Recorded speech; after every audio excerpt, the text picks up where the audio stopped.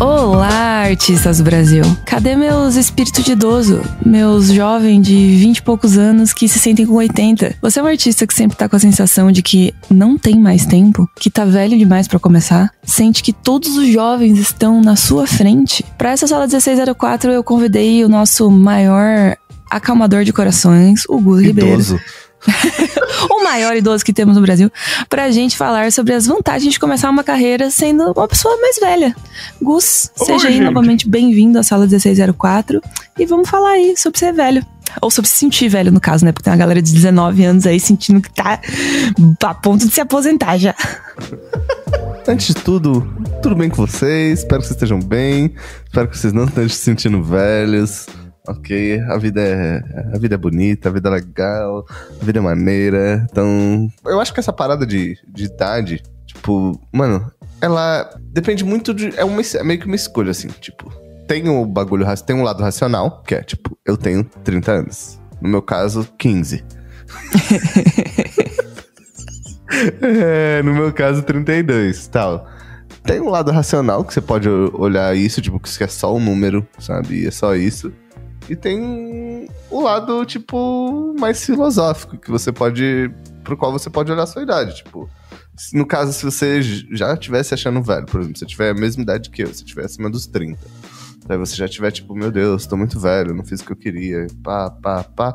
Eu acho que, tipo, é muito sobre como você olha as coisas, sabe? Tipo, tem muita gente que vai pra escola e fala, pô, tô começando velho, tem um problema. Eu falo, não, isso é uma vantagem. Porque você já tem mais é por isso que a sabedoria. gente tá aqui. Porque você tem mais sabedoria, entendeu? Você já tem mais experiência de vida, você já passou por mais coisas, você já cometeu mais erros, sabe? Pra estar tá aqui. Talvez, talvez, né? Você cometa menos erros ao entrar nessa jornada, ou seguir esse caminho, sabe? Eu acho que a gente fala do ponto de vista de idade muito como desvantagens, sabe?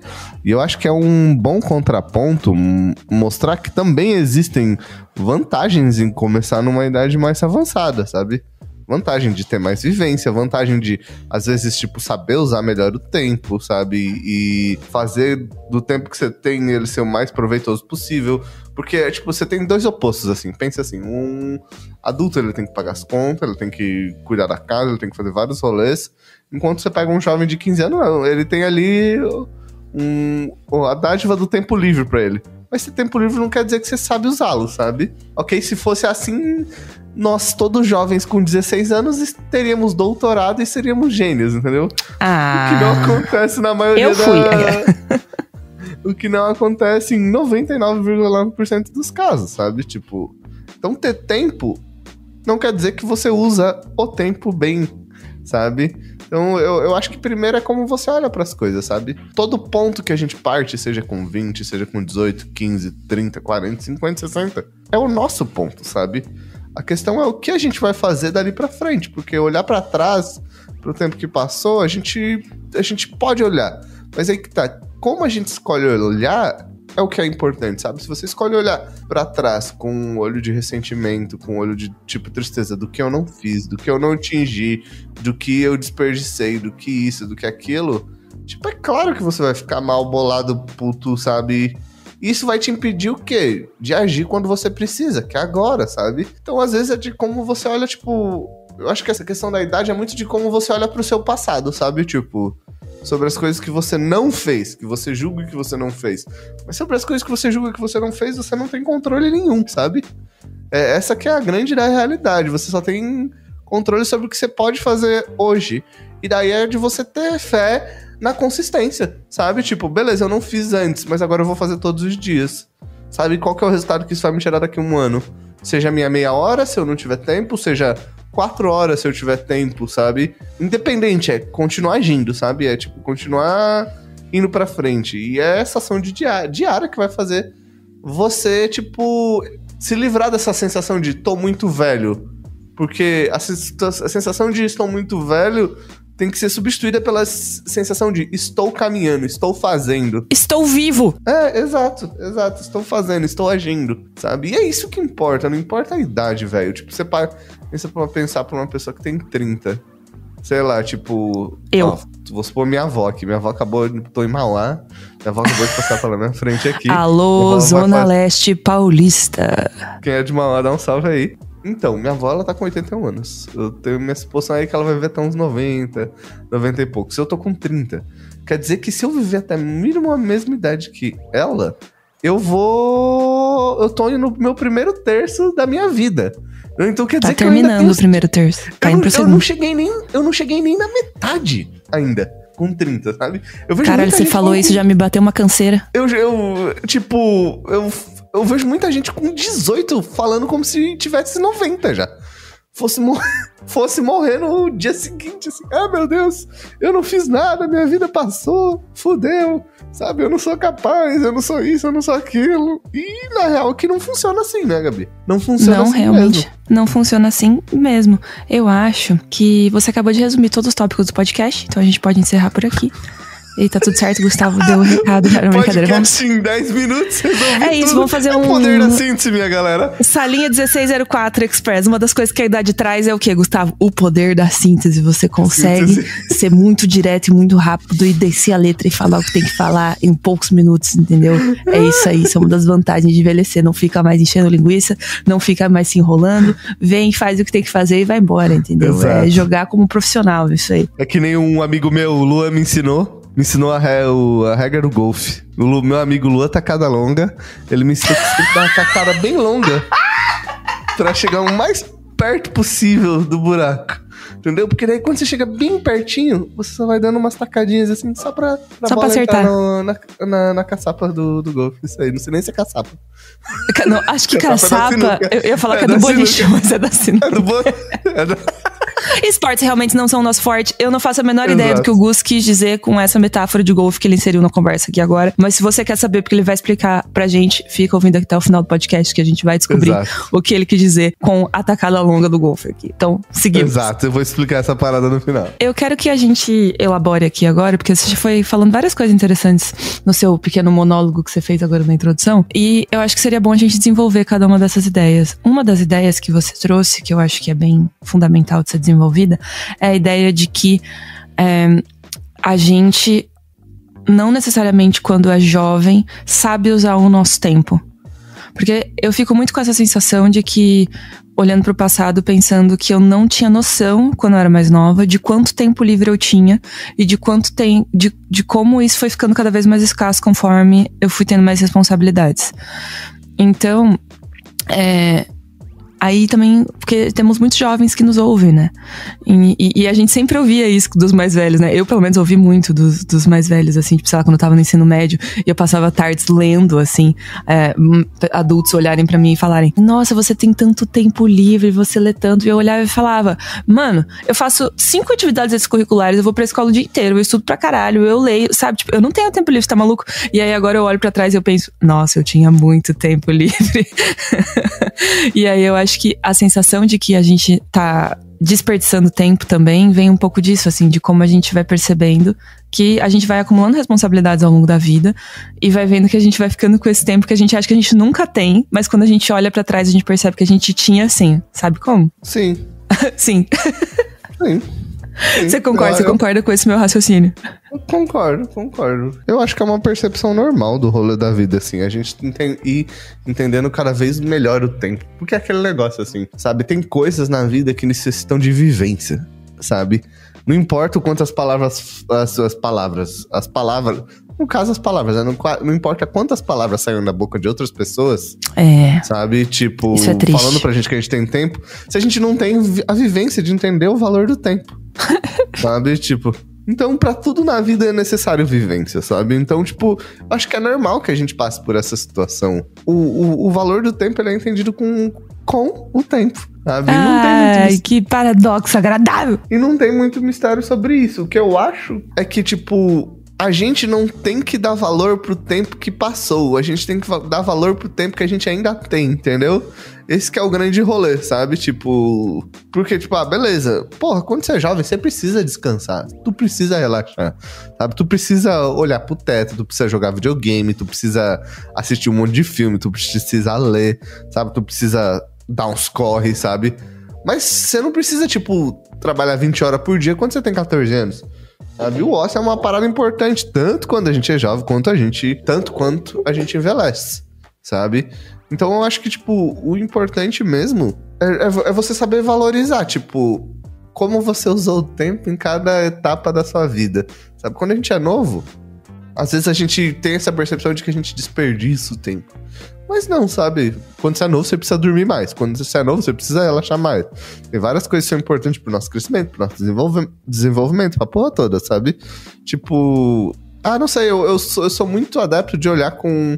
De não olhar com o passado de, nosso, de das nossas respeitar as ações. fases, né? Eu acho, é isso que É, você tá falando. Com, de tipo, cada, cada fase vai ter rancor, seu- sabe? as suas especificidades, né? Isso. É, uma coisa que me com incomoda rancor, muito, assim. inclusive, nessa ansiedade que a gente vê que muitas, muitas crianças, cara, crianças estão completamente ansiosas. As crianças e adolescentes de geração Z estão aí fritando cabeças, né?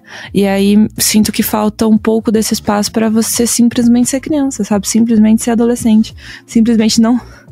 Não ter que se preocupar com essas coisas. É. Porque tem quem seja responsável e se preocupe por você, sabe? Parece que falta um pouco isso, porque a galera já, já cresce, tipo, se comparando pra caramba, sabe? Já cresce tendo mil expectativas de o que ser, o que ter, principalmente, sabe? O que conquistar, pra onde ir, pra onde viajar, sabe? Você já cresce querendo ter um monte de experiência, assim, um monte de coisas, porque você vê o mundo inteiro à sua volta, né? Tendo essas experiências, porque a internet trouxe muitas coisas boas, mas trouxe isso também, né? A realidade amplificada de todas as outras vidas do seu tempo. Então tem muito dessa ansiedade de tipo, eu preciso, preciso correr, preciso correr, preciso correr, porque parece que você tá numa corrida infinita com outras pessoas, né? Sim, e eu acho que tem uma parada que é importante também sobre essa percepção do tempo quando criança, que eu acho que talvez a gente possa aprender com essa percepção, sabe? Porque eu acho que até certo ponto, talvez, eh, talvez não, existem pontos nessa percepção que são totalmente positivas, assim, na grande, em suma maioria. Por quê? Sei lá, se você desenha quando você é criança, você não pensa quanto tempo, putz, desenhei 4 horas, hoje desenhei 3 horas. Não desenha com cronômetro, né? é, não desenha com cronômetro. Tu desenha porque é bom. Isso te faz ter uma constância, sabe? Tipo, vamos pensar mais atrás ainda, quando você é um bebê. E você lá nasceu, você saiu do útero da sua mãe, tu não sabe nem abrir o olho, nem piscar. Tu é tipo uma geleia, sabe? Que não sabe se mexer. Geleia humana. Sabe? Sabe? Não sabe se mexer. Eh, sabe? Não sabe falar, não sabe nada. Quando você saiu do, do útero de sua mãe. E tipo, mano, consistência é tudo nessa vida, né? Então alguém fala lá, oi, você vai lá, sabe? Até uma hora que sai o oi. Alguém, tipo, você olha alguém andando. Aí você fala, porra, mano, tem que andar, deixa eu tentar aqui. Aí você cai. Aí você tenta de novo. Aí você cai. Aí você tenta de novo. Aí você cai. Aí você tenta de novo. Aí você bate a cabeça no chão, você chora, você esperneia, você fala, mãe, socorro. Saca? e chega uma hora que você consegue andar. Sabe? Tipo, tu não tá pensando, nossa, a galera tá me olhando. Nossa, o pessoal tá me julgando. Me achando fofinho. Nossa, como eu não tenho. Nossa, eu tô com dois anos. Como eu não tenho tempo ainda, minha vida passou dois anos e eu não sei andar, meu irmão. Caralho, eu não tá sei vendo aquela ler, criança eu não ali? sei ler! Aquela criança ali do lado. Caralho, mano, criança com três anos já sabe falar inglês. eu com dois, nem português eu sei ainda. Porra, que Moleque merda! joga- Uma criança se jogando ali falando, pô, preciso melhorar minha rotina de estudo aqui. Sabe? Não tem isso, mano. Você faz porque, tipo, é um processo de aprendizado que é gostoso, sabe? Então eu acho que é uma parada. Aí você que não pensa, é você não criança- tem consciência que isso é um processo de aprendizado, né? Que você está aprendendo alguma coisa. E eu acho que uma parada legal de quando a criança gosta de alguma coisa, sabe? Ela faz porque ela curte, porque faz bem pra ela, sabe? Não acho que não tem muito essa conotação, tipo, profissional, sabe? Não, não tem Almejar zero, né? alguma- Ela faz as coisas por prazer. É, exato. Sabe? Existe, claro, um viés de reconhecimento, sabe? Tipo, que acho que é do ego do ser humano, mas muito por prazer, assim, porque ela tá curtindo fazer aquilo, sabe? Então não existe aquela extrema pressão externa do mundo de ser bom, de ganhar dinheiro, disso, daquilo. Sabe, às vezes um pouco dessa mentalidade é legal de trazer pra nossa vida adulta, sabe? Tipo, que é, por exemplo, a constância. Porra, vou fazer todo dia um pouquinho, uma hora, sabe? Vamos ver o que, Uhum, que vou engatear todo dia. É, vou engatinhar todo dia, sabe? Vou cair todo dia, sabe? Vamos ver o que, qual, o que, que vai rolar. Sabe, daqui um ano, daqui dois, daqui três, daqui quatro, daqui cinco. Tipo, é, eu, eu acho que é, é isso, é constância, assim, sabe? Não tem muito, muito Segredo. O, o que, o, muito segredo, assim, sabe? E a percepção que você tem do tempo, assim. O tempo que passou, já passou, velho. O tempo que você tem controle é o tempo que vai vir, entende? E é o que você faz sobre ele. Eu gosto dessa ideia que você trouxe de que precisamos sempre estar conectados com a nossa criança interior, porque isso faz bem. É, sabe, retomar esses valores, assim, do tipo, às vezes a gente precisa, às vezes não, muitas vezes a gente precisa fazer as coisas sem o viés do adulto que vem com responsabilidade, que vem com expectativa, que vem com cobrança, que vem com medo de errar, que vem com uma sensação de querer ser perfeito, sabe? Sem isso. Só tipo, vou fazer porque é isso aí, né? Legal. Gostoso. É, ninguém começou a fazer arte porque foi obrigado pelo pai, né? Tipo, eu queria muito, queria muito entrevistar alguém. Se você é uma criança, é. se você foi uma foi criança obrigada, que foi obrigada pelos nossa, seus pais a teoria. estudar arte profissionalmente para virar um artista, uma pessoa que trabalha com isso, não é assim, ai, ah, não, vai estudar arte porque eu quero você que meu filho ser seja médico culto. e seu pai falou, não, não, não cuzão. É, não. Tu vai ser médico, Exatamente. tu vai ser artista, ilustrador. Vai ser artista. É. Os nossos é. filhos provavelmente vão ser assim, entende? Daí daqui 20 anos a gente conversa sobre isso. É.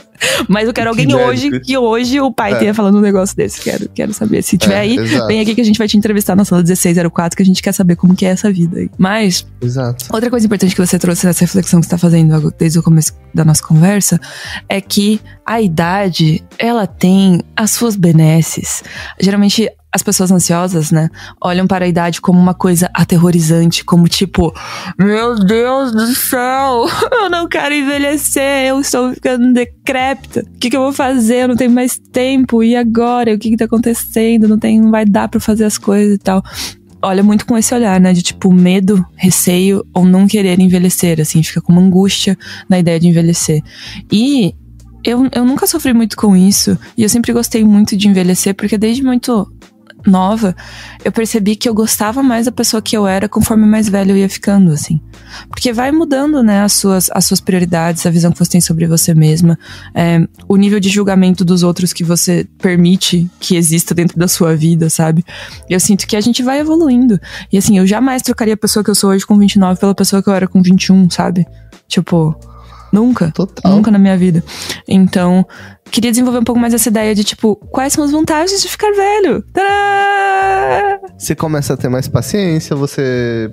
Você começa a ser mais sábio, sabe? Tipo. Uh, chega wise, uma hora que, tipo. Wisdom. Chega uma hora que eu acho que a gente não consegue sofrer pro resto da vida pelas coisas que a gente não fez, sabe? consegue! sabe? Não, Quem consegue, gente, deixa nos comentários. É.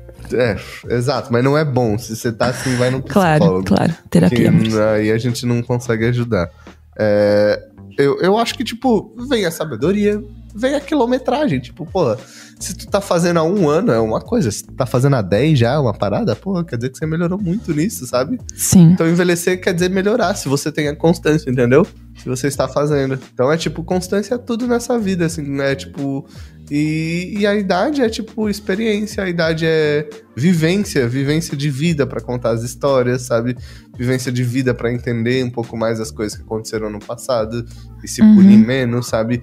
Vivência para se perdoar no dia que não deu para fazer, sabe? É, no dia que você errou. É, e no dia que você errou e não conseguiu e que tá tudo bem não conseguir também, sabe? Eu acho que todas essas coisas são, tipo, a idade ela tem várias várias coisas positivas assim, sabe? É experiência também para conseguir fazer mais em menos tempo, poder usufruir melhor do tempo que você tem, sabe? Tipo, a idade traz muito disso. Às vezes com quando você tem 30, tu aproveita uma hora muito melhor do que quando você tinha 20 ou 15 anos, sabe? Tu faz muito mais em uma hora do que você fazia antes. Então, eu acho que tem várias vantagens, assim. É muito de como a pessoa decide olhar, sabe?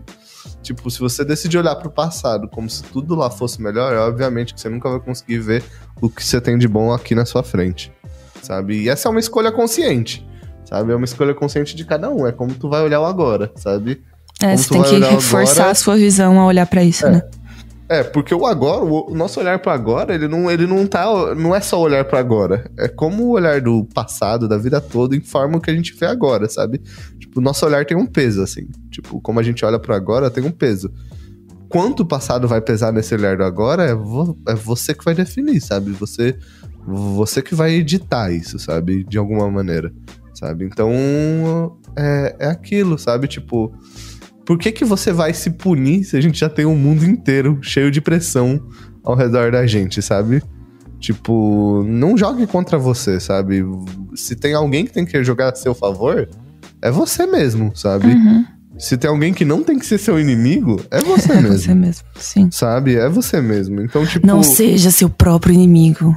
Frases de Gustavo. Não, tem a frase lá do famoso Sun Tzu: o homem é o maior inimigo do homem, sabe? Tipo, mas isso é real, tipo. o lobo é o lobo do homem. Não, o homem é o lobo do homem. Não sei, alguém me corrige nos comentários. É, sabe? Tipo, isso é real, sabe? A gente. A gente precisa tomar cuidado, sabe? Pra não entrar numa mentalidade autodestrutiva em que a gente se torna o maior vetor de cobrança da nossa vida, sabe? Porque isso pode ser, porque a vida, o mundo cobra já, o mundo tem a cobrança, você precisa sustentar, você precisa ter filho, você precisa ter um relacionamento, você precisa isso. O mundo cobra um monte de coisa da gente já, sabe?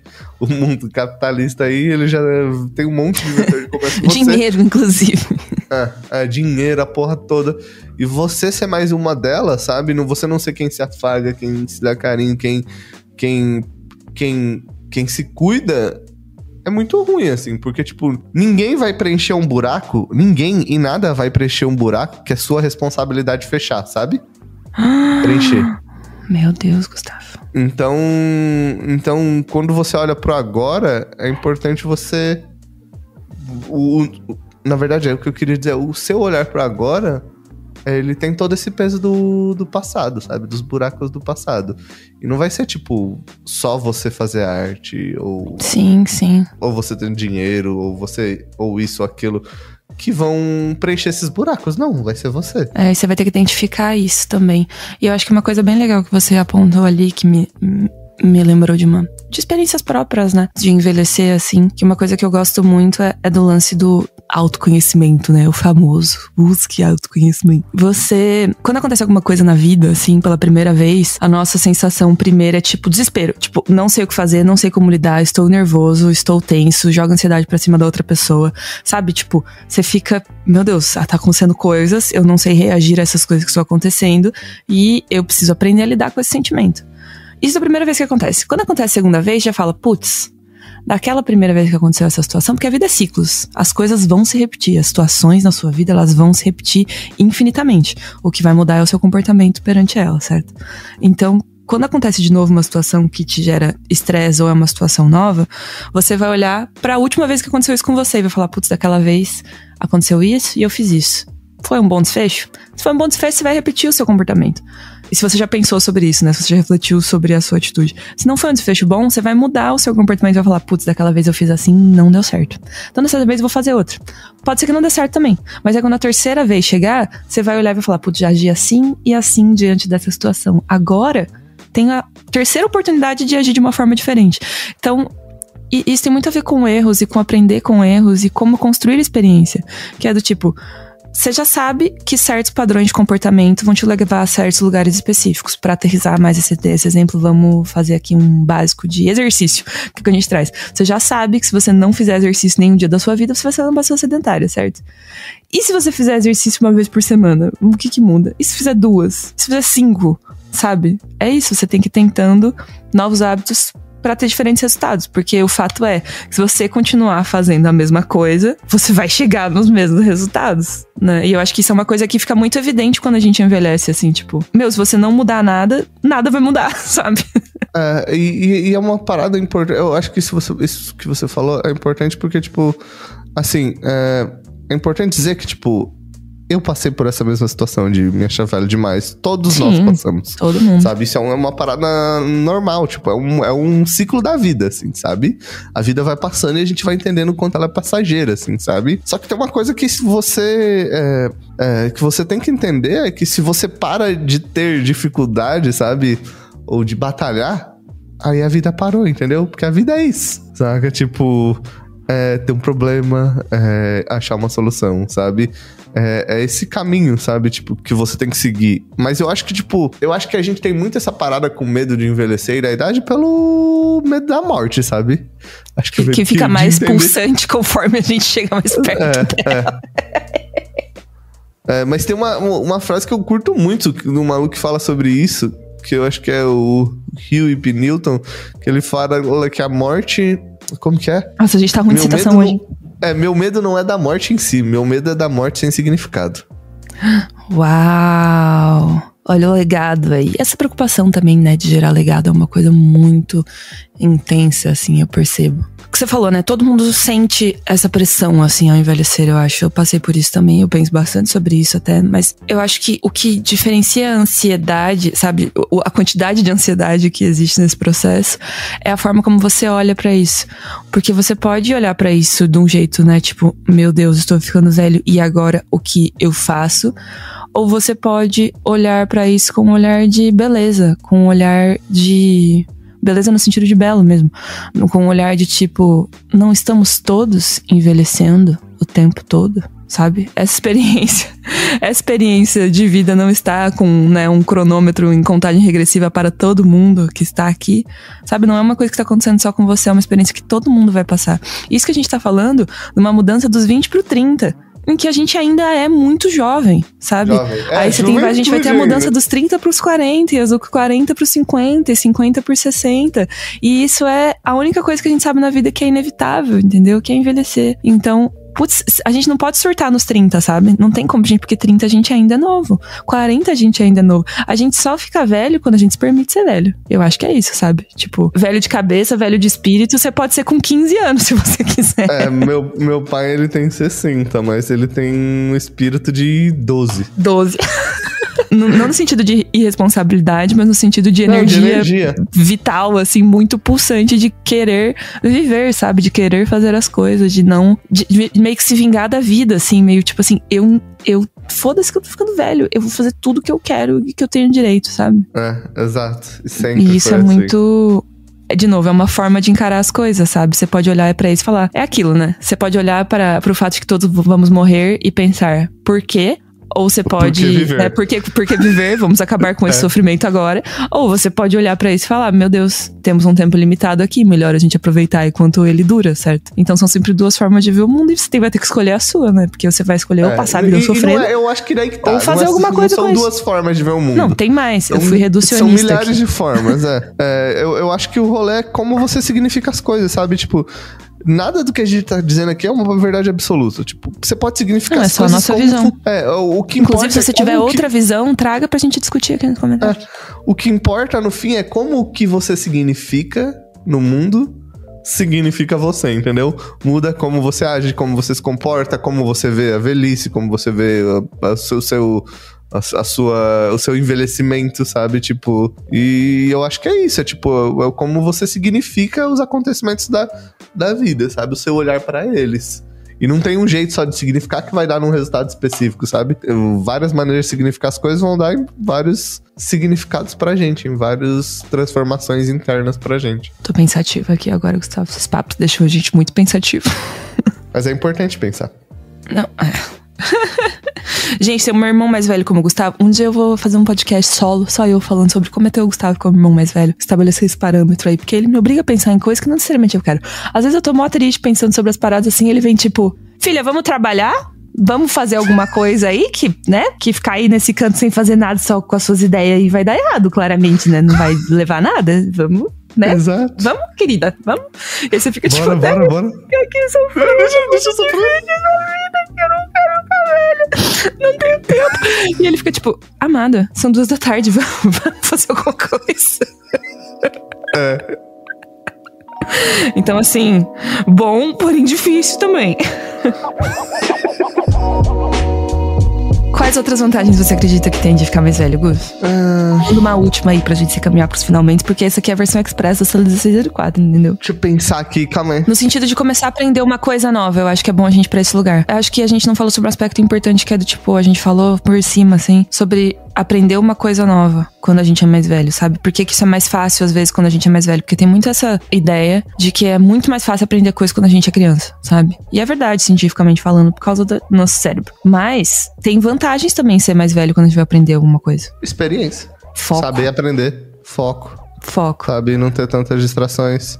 É, É. eu tenho a impressão que quando a gente escolhe aprender uma coisa quando a gente é mais velho, a gente tem um objetivo mais bem definido, sabe? Quando a gente é mais novo, a gente fica tipo, ah, isso me parece legal. Mas quando a gente é mais velho, fala, não, eu quero porque me faz bem, porque eu vejo futuro nisso, porque sempre foi minha paixão e eu deixei de lado, sabe? Parece que a gente tem uma clareza mental maior dos motivos pelos quais a gente tá estudando aquilo, sabe? Tem um propósito maior por trás, assim. Sim. Nem que o propósito seja só, tipo, eu preciso descansar a mente, sabe? Ah, eu vou fazer aula de italiano. Vai usar? Ah, não vou. Só porque eu preciso ter uma atividade aqui para desestressar, sabe? Mas tem essa clareza maior de, tipo, qual é o propósito de você ter um conhecimento novo que eu acho que é uma coisa que eu, quando era mais nova, não tinha essa clareza tão grande assim de por que, que eu tô estudando uma coisa, né? E eu acho que isso fica torna mais fácil o processo de aprendizagem, porque quando você tem clareza, né, tem assim uma visão muito nítida do motivo pelo qual você tá fazendo alguma coisa, fica muito mais fácil continuar fazendo aquela coisa, né? E persistir naquilo, insistir naquilo. Eu acho que tipo a velhice vem com essa, essa, essa, sabedoria da, de como usar melhor o tempo, de como estudar mais, de ter menos distração, de do querer ser diferente, sabe? De a gente controlar um pouco mais ele. Mas eu acho que você falou ali uma parada que eu acho que é até bom pra gente caminhar pros nossos finalmente, que é qual que é uma das coisas que eu acho que é uma vantagem de ficar mais velho. Eu acho, ó, e aqui preste a atenção. Estou prestando. Que, tá ouvindo, que é uma das vantagens de ficar mais velho é que você, tipo, eu acho que Existe casos que não, com certeza. Mas, por exemplo, para mim, é me amar mais. Ah. É me amar mais, sabe? É você escolher, tipo, é, se amar mais do que se odiar, sabe? Porque o ódio é um. É, é um sentimento muito grande pra, pra, pra carregar, sabe? Então, tipo, não sei, pelo menos para mim é algo que eu tenho visto como uma vantagem, sabe? Porque com o tempo eu tenho escolhido mais isso, sabe? A gostar mais de mim, a me amar mais, a gostar de me ver me transformando, mudando, evoluindo, sabe? Mas inegavelmente eu não sei, eu tenho me aceitado mais, sabe? Isso é uma experiência muito particular e vocês aí no chat podem dizer como é de vocês, sabe? Mas, inegavelmente, eu tenho visto isso como uma das maiores vantagens, assim. É, eu acho que isso acontece muito é porque quando a gente é mais novo, a gente tem uma visão muito rígida de expectativas externas, assim. A gente quer agradar os nossos pais, a gente quer agradar os nossos irmãos, a gente tem uma visão do que a sociedade espera da gente, de qual comportamento a gente deveria ter. A gente tem uma cobrança com relação à escola e o que é esperado da gente na escola, sabe? A gente tem, tipo, muitas coisas que parece que a gente tem que atender a muitas expectativas externas para ser uma pessoa aceita, sabe? E aí, conforme você vai envelhecendo, você percebe que não precisa. Você vai soltando, assim, sabe? Parece que você vai deixando pezinhos, assim, e vai entendendo que, na verdade, você só precisa se aceitar. E se você conseguir atingir isso, Véi, o resto, easy. O resto, Essa é a dificuldade, é, tá entendeu? Essa é a dificuldade. Você conseguir entender quem você é, as coisas que você realmente gosta e tudo isso, assim, sabe? Tipo, sem, sem as expectativas externas. Elas nunca vão zerar, mas elas têm que ficar num equilíbrio em que elas não te incomodam mais, sabe? Que você não sofre mais para atender essas coisas, eu acho. E quanto mais velho a gente fica, eu acho que mais fácil fica isso acontecer. Total. Você inegavelmente começa a se entender um pouco mais e se respeitar um pouco mais. Ou pelo menos espero que esteja acontecendo com vocês. A gente, né, torce para que vocês tenham aí um envelhecimento muito saudável mentalmente e fisicamente, gente. Se eu pudesse dar uma dica para mim mais nova era: faça exercício, exercício com mais regularidade. Eu nunca fui completamente sedentária, mas assim, faça exercícios com mais regularidade, porque o que sofre no envelhecimento é o corpinho. A cabeça só melhora, gente. Só, só vai pra frente. Agora, o corpinho, ele dá uma degringolada ali se você não toma cuidado, entendeu? Então, foca nisso, foca nisso. Gustavo vive falando do. Vai, qual que é a sua filosofia grega aí? Mensana incorpore sano? é tipo isso aí. É tipo que se a nossa mente não tá bem, é bom a gente cuidar do corpo, sabe? Porque ele vai ajudar a nossa mente a passar pelo momento. E se o nosso corpo não tá bem, é bom a gente cuidar muito da nossa mente porque nossa mente vai ajudar o corpo a, a resistir à dor, sabe? Então eu acho que é um balanço, assim, sabe? Você tem que sempre estar tá com um equilíbrio em, em, um em relação ao outro, sabe? O cuidar do corpo é muito importante para cuidar da mente, e o cuidar da mente é muito importante para cuidar do corpo. Que bonito, em apenas filosofias de alto nível aqui na sala do 604 de hoje. E pra gente encerrar naquele esqueminha gostosinho, lindinho, bonitinho, de frente com Gabi. De frente com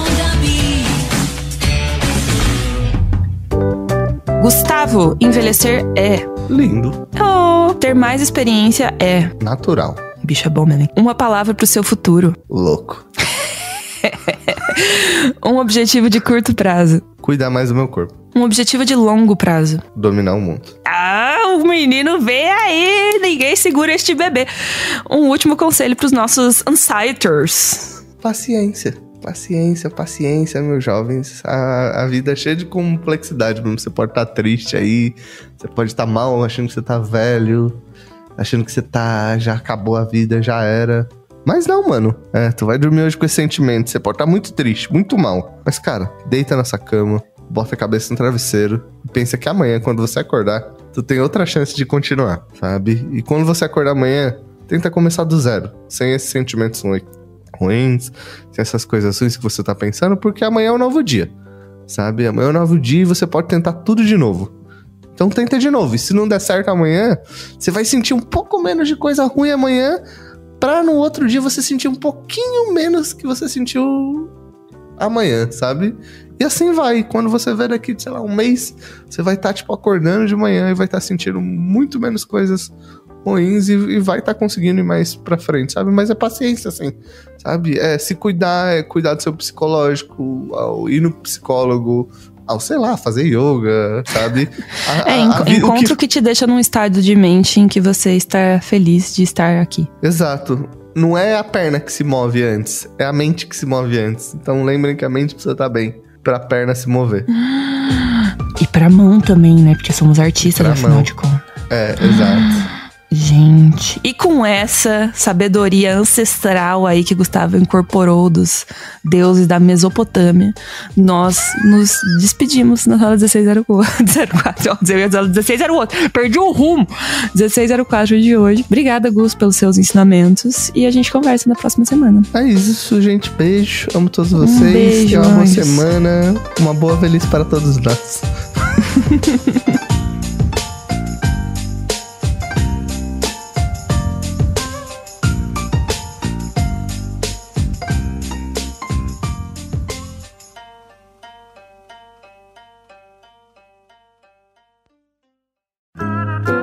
Programa editado por Doug Bezerra.